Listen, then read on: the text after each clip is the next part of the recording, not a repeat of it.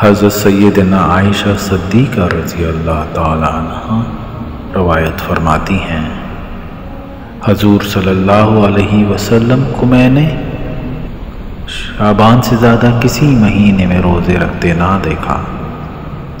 आप सवाए चंद दिन के पूरे ही माह के रोज़े रखा करते थे।